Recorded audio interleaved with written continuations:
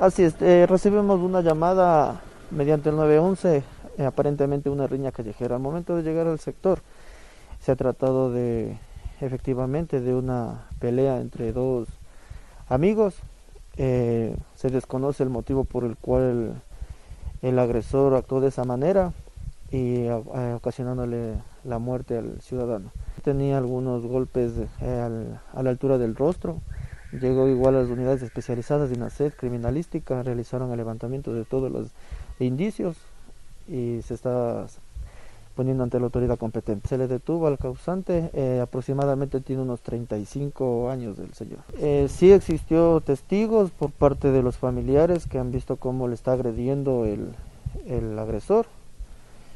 Por lo tanto, están tomados como testigos para la formulación de cargos en la, en la audiencia.